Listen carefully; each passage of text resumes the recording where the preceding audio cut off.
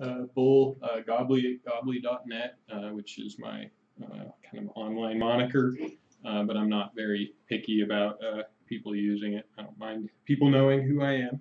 Um, I work for RSA. I've been working in the security space for the last four or five years, and uh, computers and technology and programming pretty much uh, my whole working life. So uh, going on 25 years now. Um, so this talk kind of came out of uh, a conversation we were having about programming tools uh, that don't get a lot of discussion and uh, tend to kind of bewilder people who approach this from more of a hobbyist point of view. Um, and there's not a lot of good kind of basic information on them or intro uh, information uh, available to kind of get people started on the right track. Um, and regex was uh, uh, one of the items that was brought up as one of those tools that uh, people thought were uh, very valuable or at least could be valuable to them, um, but they never really got the exposure they, they felt would make them, them valuable.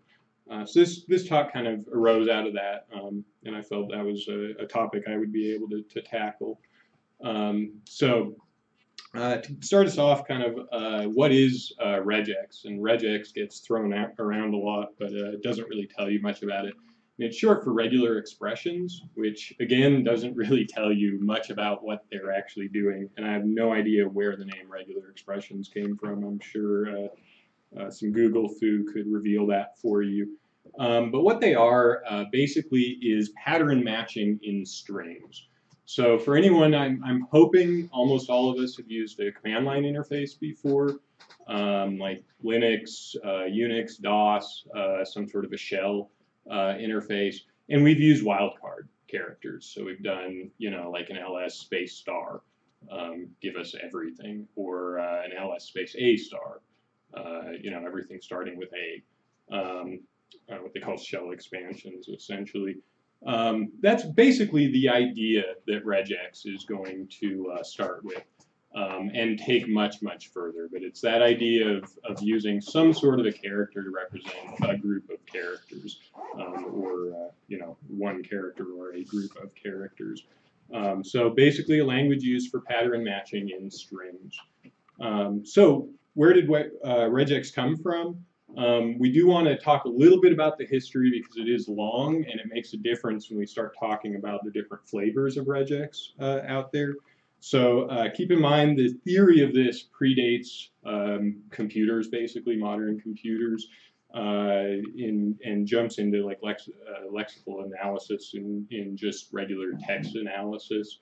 Um, but obviously these things lend themselves to uh, to computers. So as soon as you know computers started becoming mainstream in the 50s, uh, or at least main, mainstream within the, the portion of the industry uh, and, and uh, uh, academic uh, institutions, um, you started seeing regular expression or, or very similar types of text analysis tools.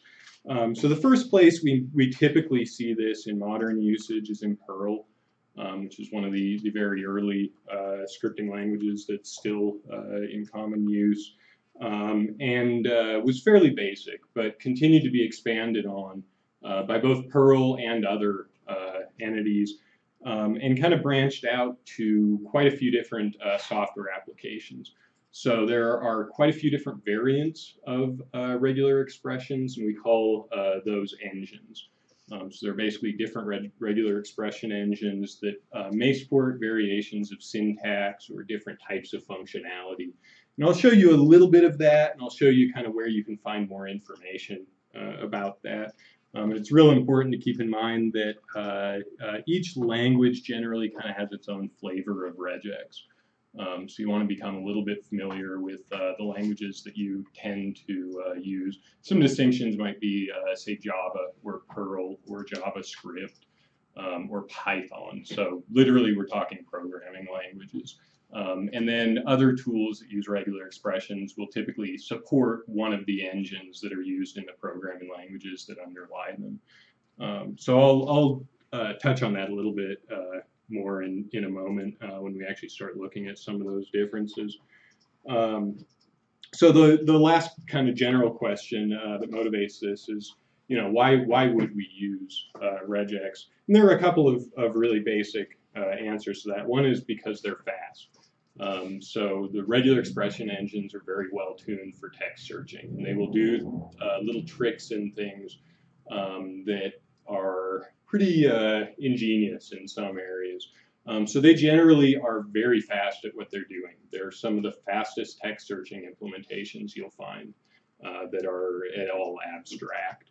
Um, so they're they're very fast, and that's one of the benefits. Um, they're very powerful. You can do just about anything uh, as far as text manipulation uh, and searching using regular expression tools.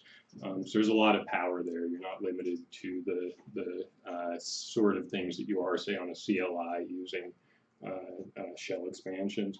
Um, they're portable. That's a big one. Um, so there are regex uh, engines in a lot of different uh, programming languages, obviously, just about every modern programming language has either built-in support or uh, API library support for regular expressions.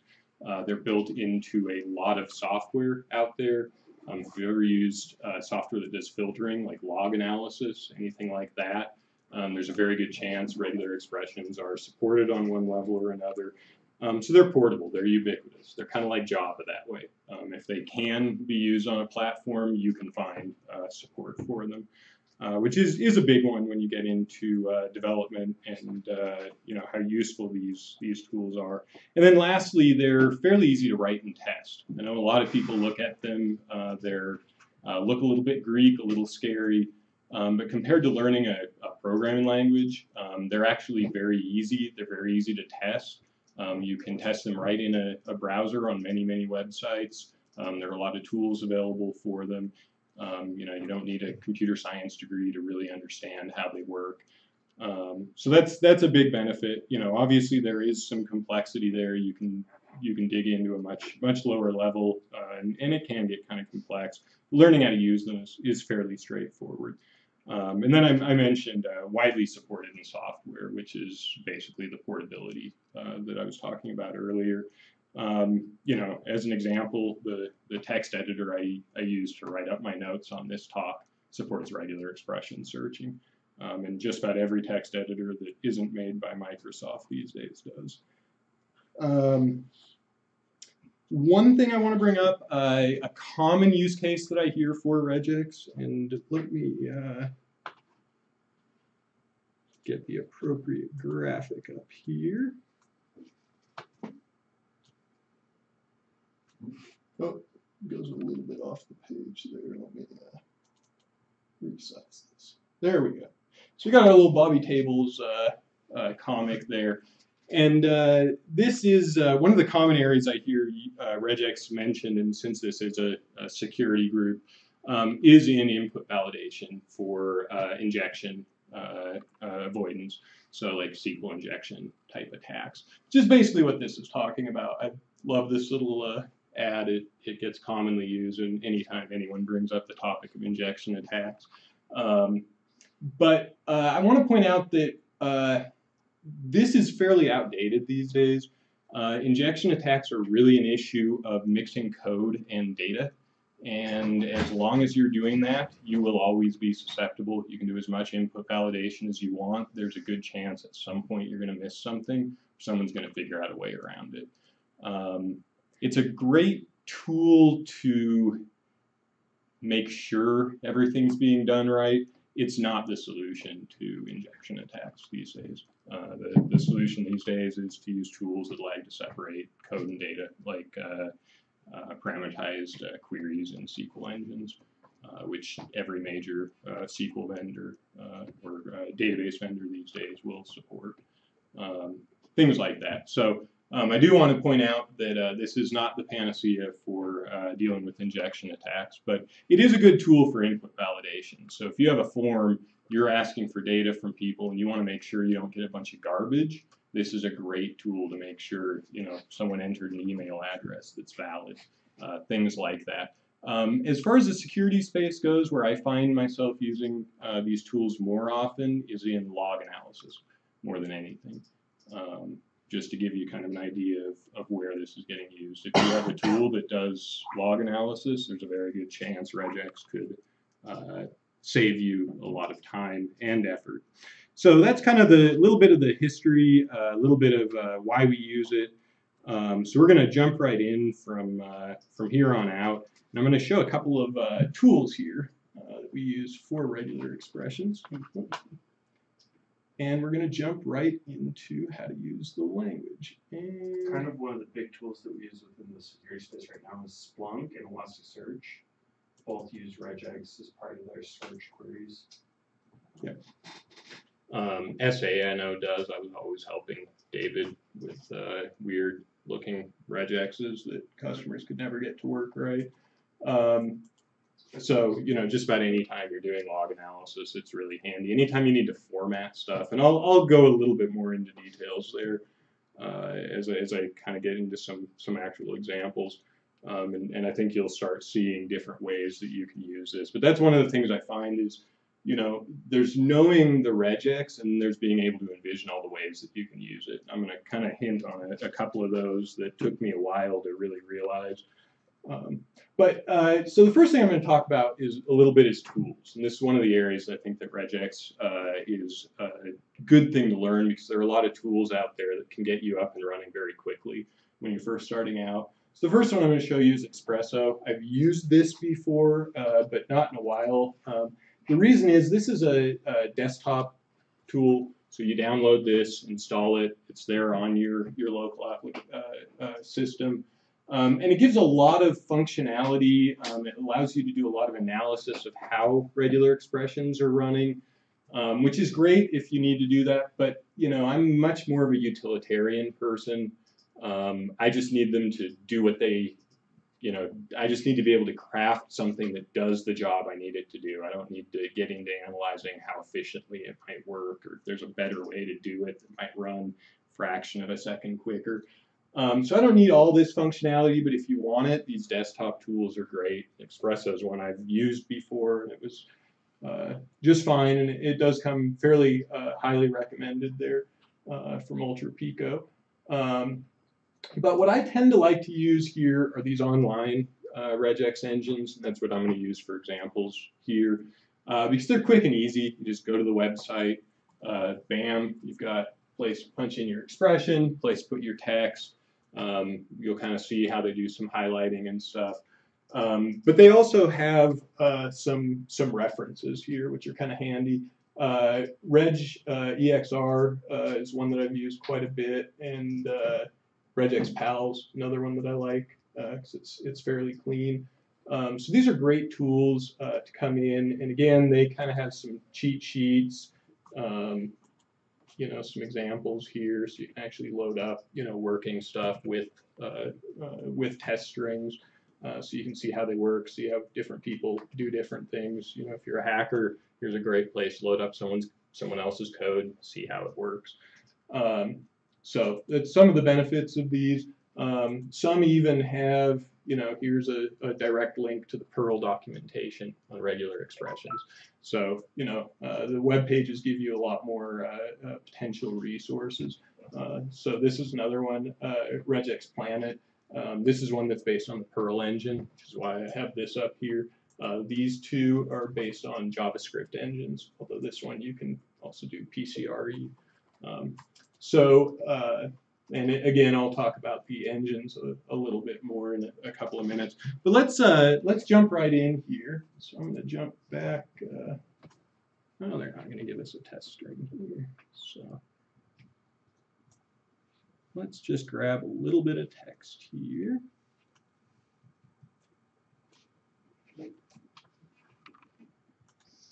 And throw it in.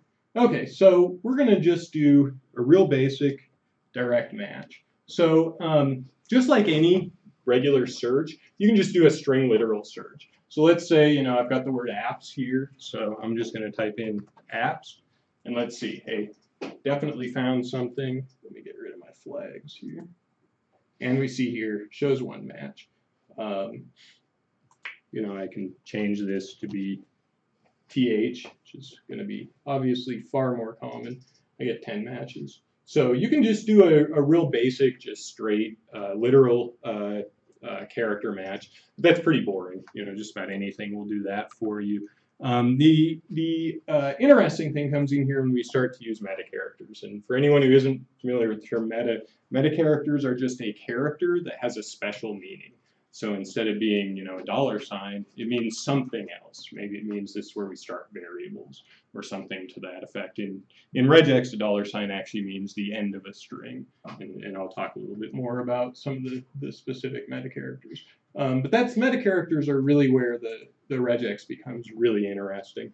Um, so uh, just starting out. Um, We'll talk about a, a little bit about non-printable characters. So hopefully everyone's a little bit familiar with this. Just in case you aren't, um, we're going to uh, point out that uh, uh, there are a number of non-printable characters like the new line character, uh, return character, uh, things like that. Um, and if you've ever uh, done programming in like Java, C, JavaScript, anything like that, they're basically going to use the same sort of thing. So you can do a slash n is the new line, and you won't actually see it highlighted because there's nothing actually there to highlight. But you'll see how that actually works in, in a couple of moments. Um, but keep in mind that the slash c, or sorry, slash n is a new line character, just like it is in you know just about any uh, string representation. Um, slash T is a tab that is a printable character, but it's it's not a direct uh, character that, that we can represent as easily in a string.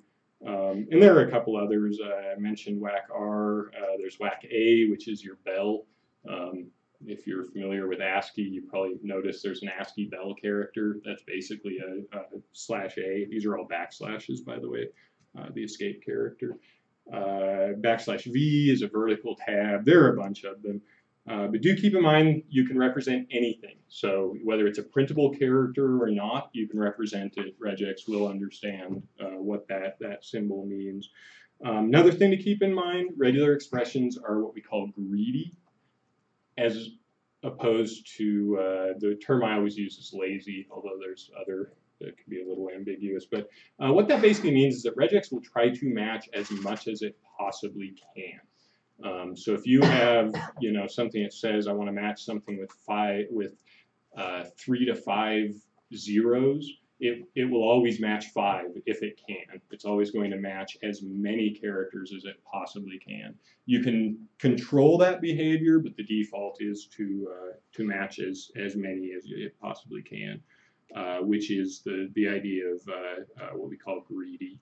Um, so I'm going to talk at this point a little bit about character classes because this is where uh, regular expressions really start becoming uh, useful. And that's starting out, we're going to talk about a bunch of just predefined character classes here. So I'm actually going to sit down and start out with a little bit of an example here. So I'm going to pull my text back in. And I switch to regexpal here because I their uh, character class is on the side where we can see better. And okay, so to start out with, uh, we're going to look at the dot here. I'm just going to start going down the list here as far as our uh, predefined characters. So the dot is probably one of the neatest uh, character classes. The dot matches anything. Uh, so obviously a dot is just a single character. Um, so this single character matches any other possible character. It can be anything. You'll notice here it actually matched each individual character. That looks big, but that's actually just a tab. So it's still a single character, even though it looks like, you know, six or eight spaces. And then it, it literally matched every single character. Um, you know, we can match two characters just by adding another dot in there. So literally every time we put a dot, it'll match, you know, any character in here whatsoever. So the dot is is really quite a special uh, character. We need to be real careful with it because it literally will match anything.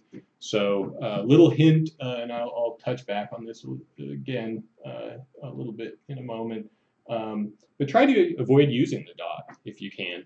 Um, if you want to go up to a point, try using the negation of what you're trying to go up to. Instead of saying, you know, do a dot and then this character I'm looking for, do the negative of the character you're looking for plus the character you're looking for. And the reason for that, and, and again, I'll I'll kind of get into that and show an example, is because we're going to always try to match as much as we possibly can. So if our terminating condition appears multiple times, we may actually come up with a query that grabs a lot more than, than we kind of expected to. So, uh, and I'll, I'll show an example of that. You do want to be a little careful with the, the dot. Um, the next one are some of the more common uh, used uh, uh, predefined uh, character classes. And that's uh, character classes for a word, a digit, or a white space. So uh, notice that these are all escaped characters, which basically all character classes are. And we can see, you know, a, a double is a word character. So everything that is a word character, J-U-S-T-A-B-O-U-T, blah, blah, blah, is selected, and everything it's not is not. Now notice, I'm not defining a whole word with slash W. Every one of these is a character. These are called character classes. What I'm defining is a character that would make sense as a word, and that basically means it's a letter, a number, a hyphen, um, you know, something that we would expect to normally find in, you know, printed text. Um, so that's W, and if we wanted to get a whole word, we would need to ex extend that, either by adding more W's, you know, there's two word characters, three word characters, four word, five. notice, as soon as we say five word character, a word with four characters doesn't match it any longer. So that's uh, something to keep in mind. I'll show you in a moment how we can uh, kind of change that. Um, we can do the same thing, you know, again with digits. So I can come in here, put in, in oh, oh, digits, not letters. Put in a bunch of digits, and then Can come in and say digit, two of them, three of them together. So again, I'm matching single digits, but anything that is a digit, 0 through 9, is going to get matched by that. Uh, and then S, white space. So, you know, all of our spaces are going to get uh, uh, marked in here. There are also uh, other types of spaces. Notice our tab, that's white space. It's not a space, but it's white space. So tabs get included in that. Um, there are actually some what what we call non-blank uh, space characters. They're essentially spaces, but they are not. Uh, they're technically other characters, uh, which, depending upon the engine, uh, may be considered white space or not. You probably won't run into those, uh, but just to warn you, there are actually non-space, uh, non-tab space characters. Um, something really neat, you'll see this on the next line, is your uh, WD, not word, not digit, though they need to put not digit on there. So just about every one of these you can negate by using the capital. So if slash lowercase s is white space, slash uppercase s is anything but white space. And we can actually see that. So now we notice, hey, we had all the spaces and tabs before, now we have everything but the spaces and tabs. And in this piece of text, that's essentially the same as slash w. Um, it isn't in all cases, though, because there are non-word characters that are not white space. For instance, underscore, plus, minus. Well, minus is a hyphen, so that doesn't count. Um, but there are a bunch of, uh, of symbols that are technically not white space, but they're not word characters as well. Uh, brackets are another, another great one. Um, now, the, the question comes up, and I mentioned that, that, that I was going to talk about that in a moment. You know, this is great that we can select one, and this is great, you know, let me go back to W here, But I can select two. But what if I want to select all of them that are four and five letter words? You know, I, I can't necessarily do, you know, five of these up here and expect that it's going to match on a, a word with four characters. So there are a couple of ways that we can deal with that. Um, these are called uh, quantifiers. So um, there are about five quantifiers. I'll talk about each of them real briefly. Um, the first one you're probably familiar with, and that's the star. So the star just says zero or more of, of some value, uh, whatever preceded it uh, before. Um, you'll notice nothing actually, and, and this is a little weird because we would expect it to highlight a bunch of stuff here, but if you look at our matches, you'll notice it's infinite. Um, and the reason for that is because there's basically, and it's not actually infinite, but it's effectively infinite how many single zero or more word sections you can get out of this text. In fact, when you consider that it could be zero or more, um, you basically, it really is infinite because you have an infinite number of zero length strings here. Um, so that actually confuses this engine a little bit. Uh, other engines would uh, would be able to handle this, but you'd you'd literally get um, just the entire word. Um, so this is a little bit weird for this engine, um, but uh, I'll show you another example that's a better example of that, but it works just like it does in, in CLIs. It's basically, you know, any anything um, or zero, uh, which which is important to remember. Uh, another one that works just like the CLIs is a uh, question mark. Um, and again, you know, it's a little bit hard to, to see with just a slash W, but um, question mark means one or zero. So it could be a character or it could not be a character, but it will always be one. And that's essentially what it means in Linux uh, shell expansions as well. So those I'm, I'm hoping people are kind of familiar with.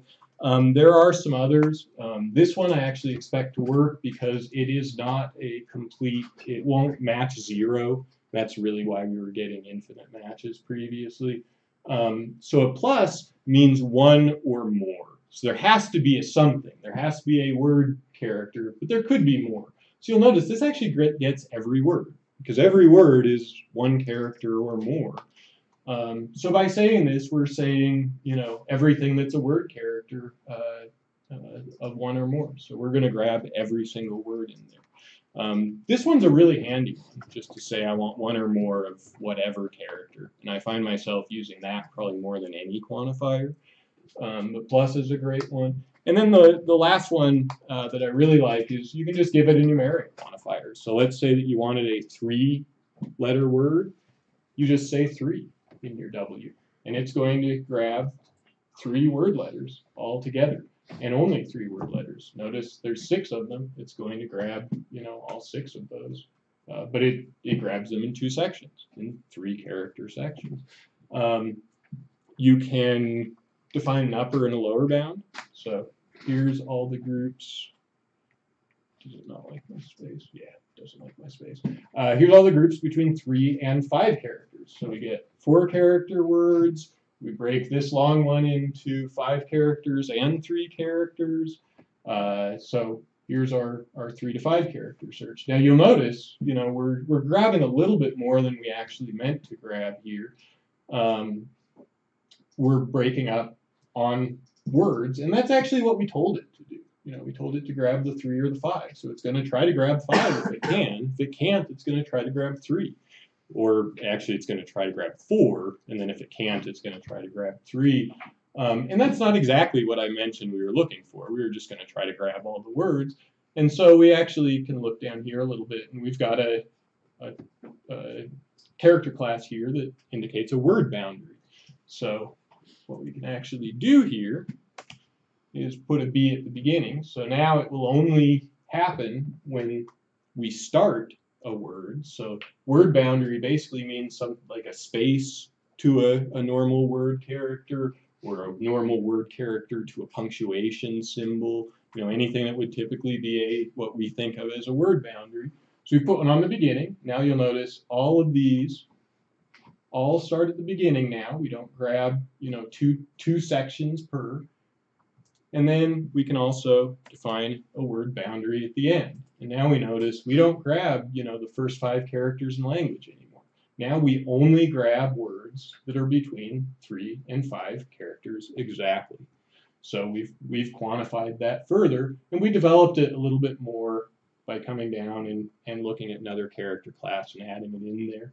Um, Another thing I really like about these online while I'm, I'm, I'm looking at it right now you can actually syntax highlight anything in your regular expressions and quickly get a, a, brief description of what it's doing, which I really like about these online ones. I haven't seen this on any of the desktop ones. They generally make you like right click on it and, and look at, you know, some sort of doc or something. But all of these, you know, slash W matches any word character. Uh, quantifiers matches between three and five, the preceding token. So this is really nice, especially if you get a regex, you want to edit it figure out how it works, you know, throw it in here. You can very quickly mouse over things, get little hinter, uh, hints on that. Um, so that's quantifiers. Um, coming down a little bit, uh, and I'm going to start speeding up here a little bit. Um, so I'm hoping that this idea of character classes is starting to really solidify for people. Uh, I did mention earlier that the dollar sign signifies the end of a string. So yeah, bring this back here. Let's say I just want the last.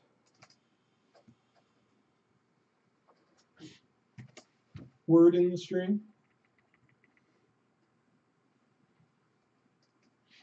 So take off the word boundary and add a oh,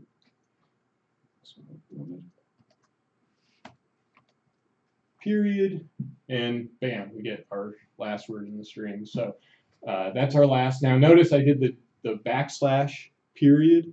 That's actually a good time to, to point this out here. Now, I wanted to actually use a period. It's the last word in a, in a sentence. I expect to have some sort of a punctuation. Um, I knew it was a period, so I used it. But, you know, a period is any character. Now, oddly, because a period is any character, which also is a period, I can just use a period here. The challenge is, you know, this is going to work if I get rid of punctuation and put an A there it's still going to grab it. So I now don't know that I have the last word in my, my sentence there. Um, so we really don't want a period there. And I can actually turn that into a literal period just with a backslash. So for all of these special characters, the backslash is what makes them a special character. For all the characters that aren't special characters, um, or sorry, um, for all the char special characters that use a backslash, that backslash makes them a special character. For all the characters that don't, if you want the regular character, use the backslash. So it's almost the exact opposite depending upon whether it, it naturally uses the backslash or not. Uh, so I just had a question on uh, how words are defined. So is, uh, word anything that's not a white space? No. Um, so if you look here, and this this kind of answers that, matches any word character, alpha, alphanumeric and underscore. Um, so it's basically just alphanumeric. A through Z, capital A through Z, 0 through 9, underscore, and I believe hyphen is actually included in that. Um, I'm almost certain. In fact, here, let's double check this. Nope, hyphen isn't included. Now that may vary. My memory was that it was, but again, I, I oftentimes am using the Java engine. Um, I, I don't actually do a lot of JavaScript work. Um, so that may vary by engine. Um, as you work more with a particular engine, you get a little bit more used to kind of some of the quirks. Um, but yeah, it looks like for the JavaScript engine, it, it doesn't. It's just the alphanumeric and the underscore. So um, and in general, you'll find a lot of these things are somewhat consistent from engine to engine, but each will have their little quirks. Um, so um, I'll talk a little bit more about that in just a moment when I kind of make it through here. But you know, that's the start and end of a string. Um, I will point out that things like uh, slash b and uh, these guys. Um, these are what they call anchors, and they're also what they call a, uh, a, zero length assertions, which is kind of a complicated name for them. But basically what it means is they don't actually match a character. I mean, there is no character that means this is the beginning of a word, and there's no character that means this is the beginning of a string and the end of a string. So those are, are uh, non-character references, which is why they call them anchors. They, they define points within character structure. So again, for instance, a word boundary, backslash b, is literally the, the space between an alphanumeric character and some non-alphanumeric character like a bracket or, or a plus sign or something like, or a white space, um, or something, you know, like that.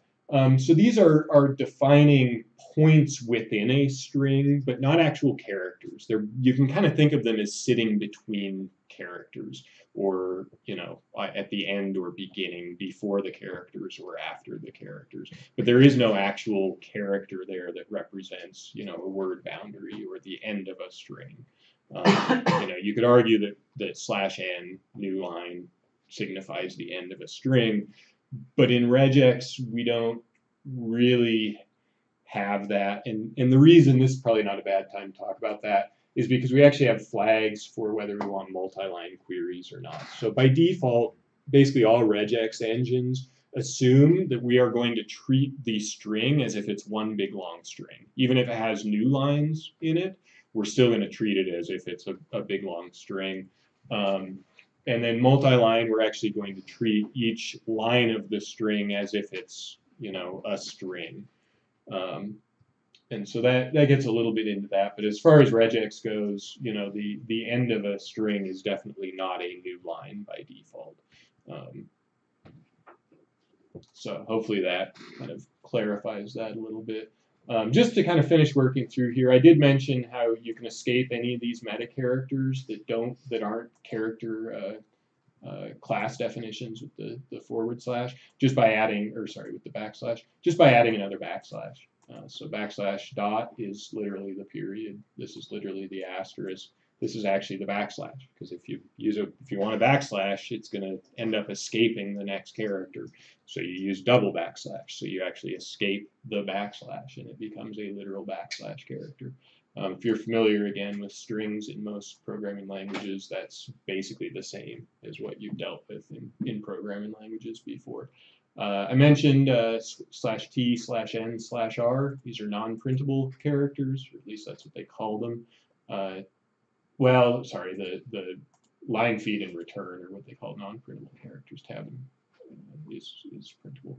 Um, I'll talk about grouping in just a moment. And I did talk about quantifiers here. So again, you know, asterisk means zero or more. Uh, plus means one or uh, more. Uh, question marks means uh, zero or one. We've got our uh, uh, explicit quantifiers here. And I mentioned earlier that all of these are greedy. They will try to match as much as possible. Almost all of them can be followed by a question mark to make them uh, reluctant. Is I, I, said lazy earlier. I was searching my mind for the right term. Reluctant is the opposite of greedy. Um, so you can basically make any uh, quantifier reluctant to grab as few matches as possible uh, by uh, following it with a question mark. So you can see here's two examples. Um, and I'll talk about the bar in a moment. Um, so I was really quickly, before I get into a little bit more complicated examples, I wanted to show you this wiki page here. So this is pretty handy. Uh, wikipedia.org wiki comparison of regular expression engines. So I mentioned earlier there are a bunch of different engines and it can be a little bit confusing what's going to be available for you. I know a lot of people who've started out struggle with this. So they're, they're looking at instructions for Perl regex and they're working a Java engine. They can't figure out why the instructions in their tutorial don't work. So this is, is great here. Um, it has some information about like what programming languages are using what uh, uh, engines, which is good uh, if you're not certain. Uh, a little bit of info. I think that's just more language stuff. What I really wanted to show you here is the languages features tables. So this actually tells you the different features and which regex engines do support them or not. So, you know, we talked about the plus quantifier. Again, one or, or more uh, of the, the preceding character. You can see in here, you know, Boost regex, uh, Haskell, Java, JavaScript, uh, Lua, uh, .NET, uh, PCRE, Perl, PHP, Python. These are all different engines. These all support it. Uh, FREJ, which I've never heard of before, doesn't. That may be why I haven't heard of it. You'll notice they almost all do. There's only one that doesn't. There are probably engines that aren't on this list, but I doubt anyone's ever going to care about them. Um, some of these I'm not really going to talk about. You're welcome to to explore more. Um, I might end up doing like a 2.0. This is really a 101 style class. Um, I might end up doing a, a more advanced class where I talk a little bit more about uh, some of these other uh, things like nested character classes and uh, uh character class uh, subtractions, things like that. Um, but you'll see, you know, fairly widely supported non-greedy quantifiers. You know, again, I talked about the question mark, make them the, the query reluctant. Um, you know, this is whether those are supported. Um, not going to talk about Shy groups or recursion. So some of these, and you'll notice most of the basic functionality of regular expressions is supported across the board. So some of these get a little bit more esoteric, a little bit beyond a beginner uh, discussion, especially back references are pain. Um, but there's more pages down here, directives, conditionals, most of us know, you know, if, then, else style conditions. Regex, uh, some flavors support them. Um, it's interesting to see what you don't, like Java doesn't, but then again, you know, if you're in Java, why do you need conditionals in your, your uh, regex? Um, so anyways, this is a great resource to see what's going to be supported or maybe, you know, why you can't get something to work. Um, this look ahead and look behind um, I'm going to mention them, although I'm not going to go into detail because uh, especially look behind isn't supported by the online engines. Um, but these are ones that commonly people will want to use, and the support varies. And you know, it might not work in your engine. You might have to switch engines if you want to use specifically look behind. You'll notice has uh, less support than look ahead. Um, but yeah, this is a great chart for that. So keep this in mind. Um, as as you're kind of working on them and, and figuring out what your engine does support and why things aren't working for you. Um, so now I'm going to just spend most of the rest of the time just getting into a couple of much more complicated regexes and building them a little bit so you can actually kind of see the process. Um, so that's the other area I've seen people really struggle is how do I get started? How do I, here's what I want to do how do I actually start writing something and, and get it so it, it accomplishes my task? Uh, before we get into the complicated expressions, um, has anyone used uh, like different like languages or character encodings with regex? Yes. Like, how well does that work? I feel like I, it's been a while since I used regex. I feel like I tried using it before when I was searching my career documents and it didn't work. Um, So yeah, and that one part of your question I'm actually not sure on the answer on, and I've I've wondered and I just haven't had time to research that, and that is how do some of these character classes get defined? So let's say that you are, and, and I'm not familiar with Korean, but I'm I'm not familiar with Chinese either, and that's what started me thinking on this is, you know, I'm sure that there are, let's say we look at a word boundary. Um, you know, does not all languages have the same ideas of word boundaries in their written representation that we do, um, or things like that. And I'm not sure how regular expressions handle those situations. From a character set point of view, it's transparent in the sense that if you give a regex engine, you know, UTF-16, and that's what your pad that's what your pattern and that's what your string that you're searching in is it's consistent because internal to the computer you know character code you know af83 is the same as character code af83 regardless as long as your character set's the same the issue gets into you know when you're converting character sets. So if you're giving it one input in a specific character set and it's not another, and your engine doesn't have the ability to understand that, you know, you could be making totally weird assumptions about which characters are equivalent. Um, generally, it's not an issue because usually, like in Java, you know, everything's uh, uh, basically Unicode, uh, basically UTF-8. Um, and so it's consistent across the board um, unless you do weird things to to get a mismatch. I mean, you can force other character sets, but um, and that's generally what you'll find. Um, but you raise a good question, and I'm really not sure on some of the meanings of these terms, and you know, what would you consider a word character in one language versus in another. Um, but as far as the equivalence of characters, it's all, you know, as long as the character set's consistent, the regex engine will be able to handle that. 'Cause it, in a way, it doesn't actually care what the characters are. It's just that, that they're there.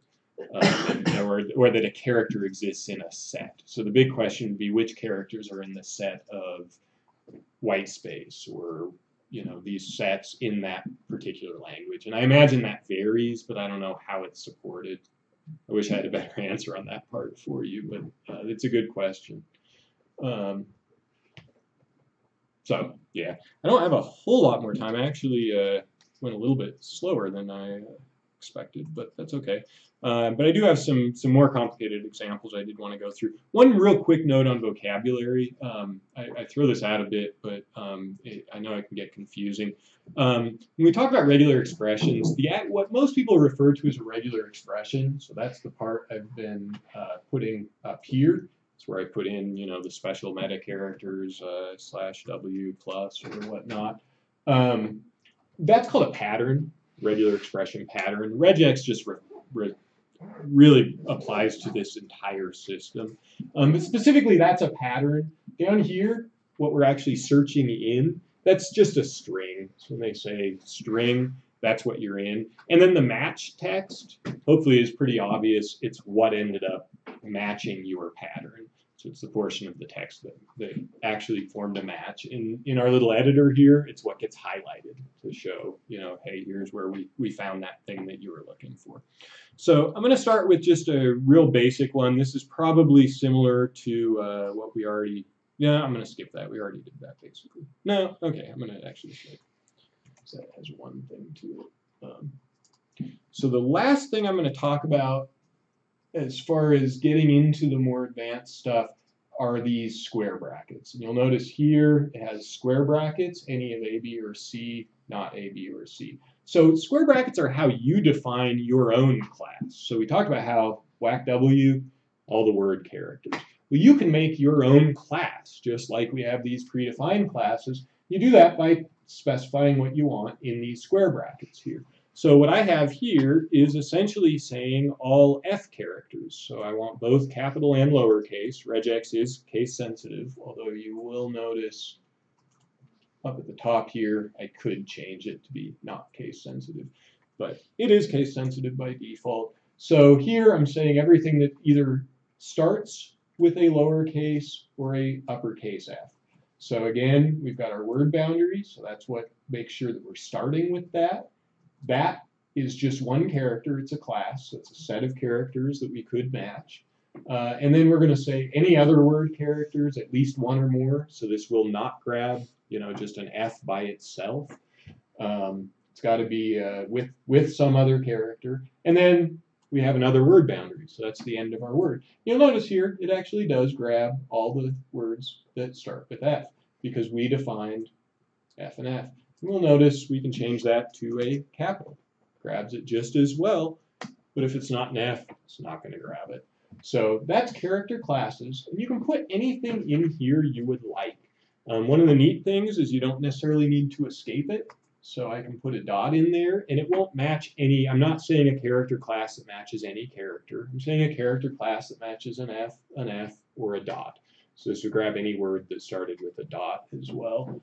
Um, and the reason is because these are in character definitions. So it's not actually part of the regex. All I'm doing is defining which characters uh, I'm, I'm actually going to uh, match on there. And I can negate the whole thing by putting a caret at the beginning. So now we're grabbing every word that doesn't start with F. You'll notice for star nix, star is not a word character, but it is a word boundary. We know that because NIX got selected, and we are only selecting things that start on a word boundary. So that tells you right there, asterisk is considered a word boundary. And basically anything that's not a alphanumeric underscore character is going to be considered a word boundary. So that's character classes. We're, you're going to see we we use those quite a bit. They're very easy to negate. Um, one thing, let's say that you wanted to use a caret in your character class, that, that little uh, up arrow thing there. The key to that is don't put it at the beginning. So now notice we, we grab our Fs, we're not negating any longer, but we actually will work on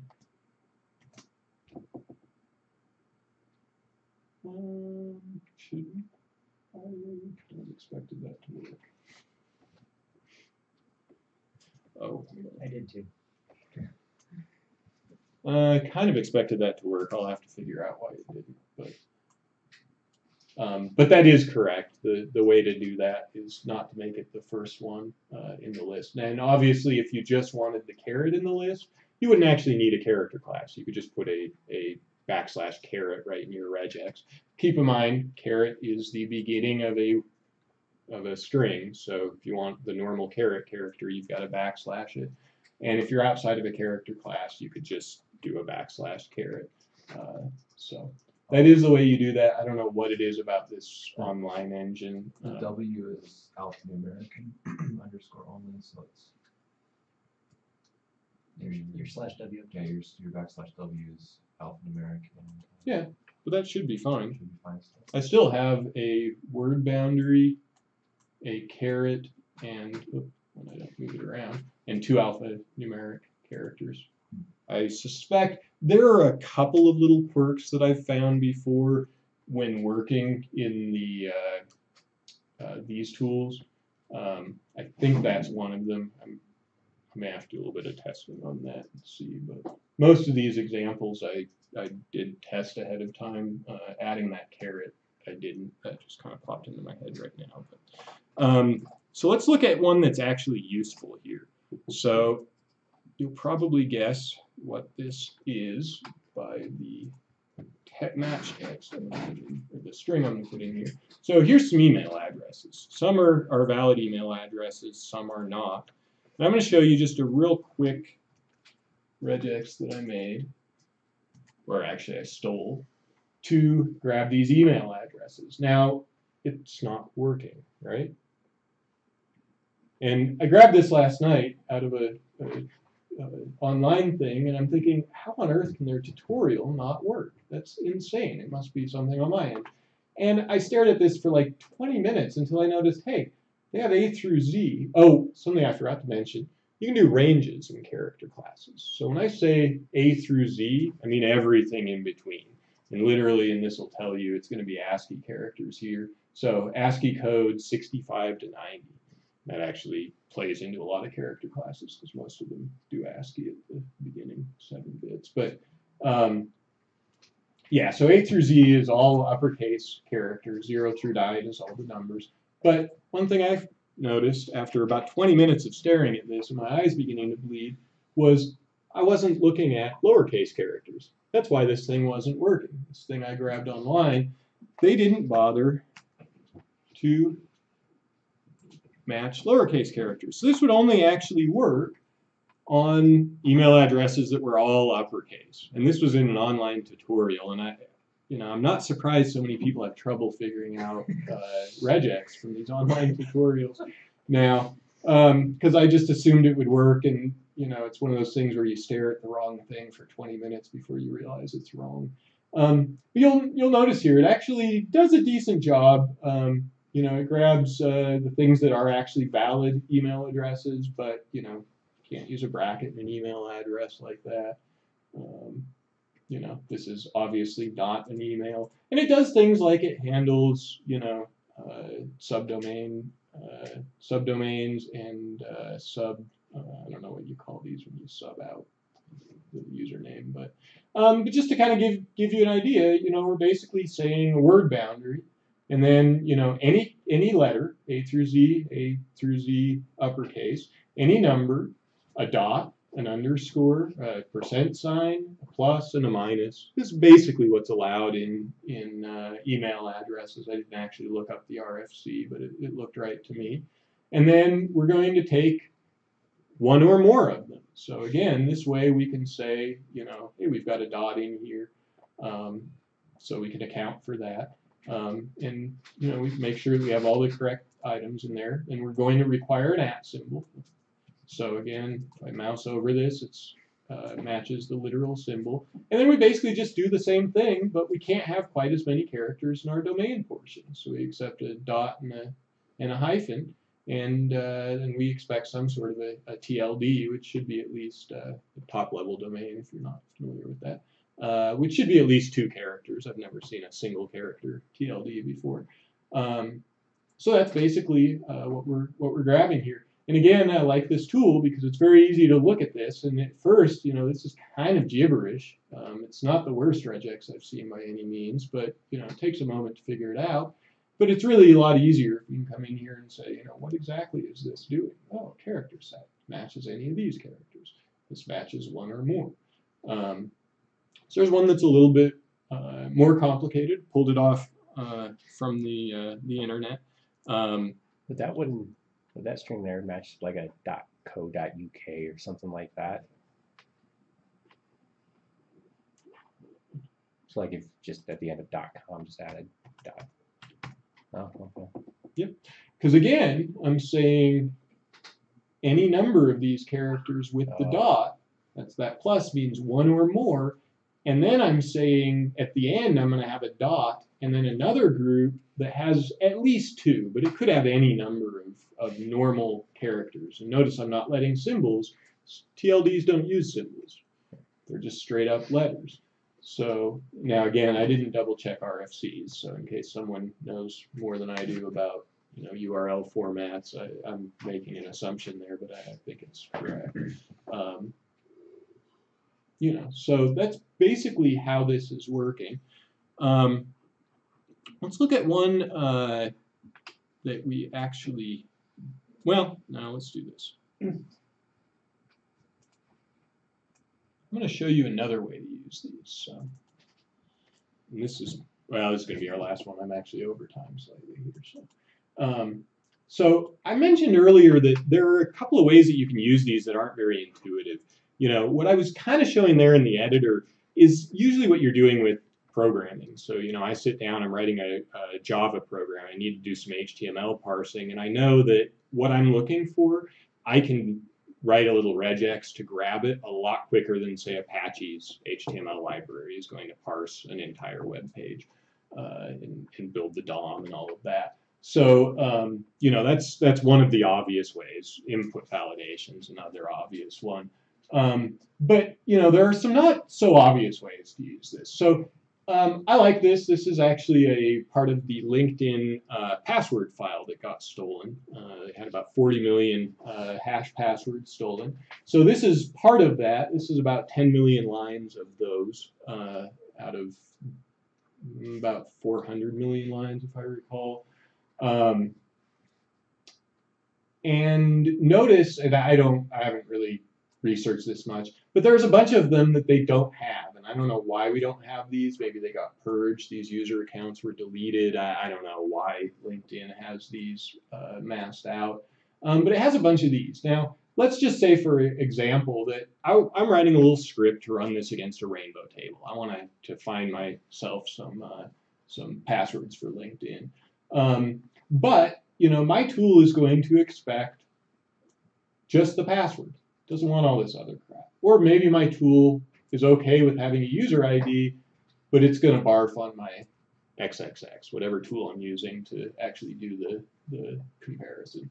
Uh, is going to barf on the XXX. So, you know, we definitely, again, this is a 10 million line file. We're definitely not going to go in there and edit it ourselves. I could write a little program to do it. and We might be able to go out and find a tool that would kind of automate this. Um, but, you know, I know regex, and I know that my tool here has a find and replace function. So I can come in here to my find and replace. I can make sure regular expressions matched. I have some different options here. I'm going to leave them as they are.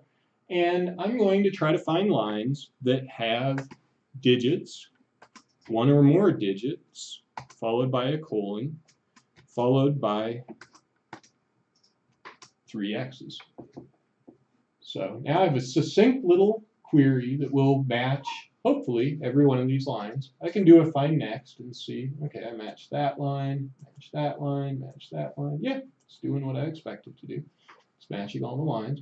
And I just want to get rid of those. Now, I've done this before and I've made a couple of mistakes, so I'll give you a little hint here that you might not, I didn't think about the first time I did this. If I remove these lines, I'm going to leave a blank line there. I actually want to remove one more character, the new line. So I want to bring my remaining lines up. So what I want to do is I want to essentially do this. Oops. Backspace. Just like that, for every line in here. So I write a quick little regex. I say one or more digits followed by a colon, followed by an X three times, and then a new line. And I'm going to replace it with nothing. Now, this is about 10 million lines, 10 million and a quarter lines. So I'm going to hit replace all. It'll take it a moment. You know, it's a big file. It's, I think, about 170 meg. Um, so that's a decent sized text file. In fact, you know, I don't think this would actually load in, in Notepad, or if it would, it might take a good chunk of the day. Um, one of the reasons I like TextPad is it handles very large files. I can load a 40 gig text file, and it might take about five minutes to load, but you know, it's it caches and buffers well. So um, it's one of the reasons I like it. But it'll just take a couple of minutes, and then you'll see once this is done um, that it basically removed all those lines for me. Another place I find this handy, I don't know what you guys do, but I do a lot of analysis of logs and config, and um, I, I do a lot of looking at SQL.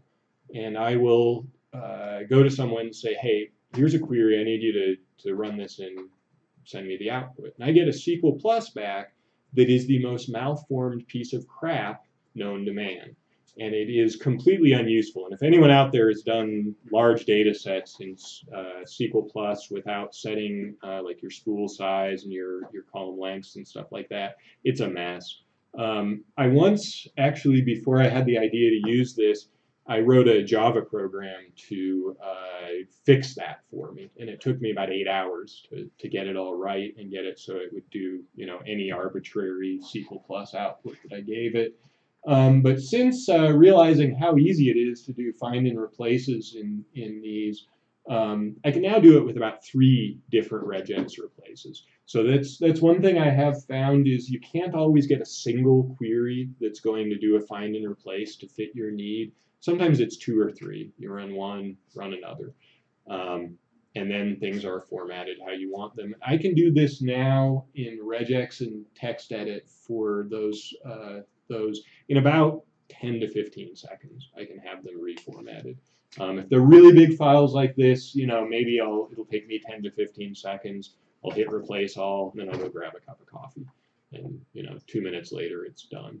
Um, but that's really handy. You know, there are a bunch of little problems like that. Like let's say you wanted to go through a text file and convert all of the multiple tabs down to eight single spaces. Um, or let me let me put this better. You wanted to convert all the tabs to eight single spaces and remove the redundant tabs.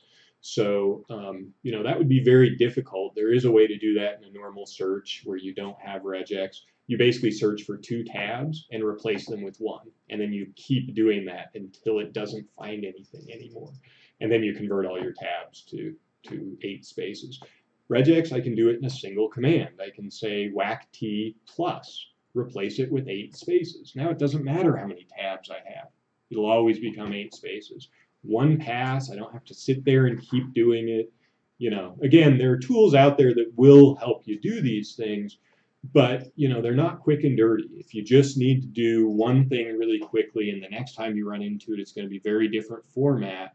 You know, this is a tool that can very quickly get you there. And it's done. You know, it took probably three minutes, maybe. And again, you know, I'll show you this. Now we did remove some lines, so it's a little bit smaller now.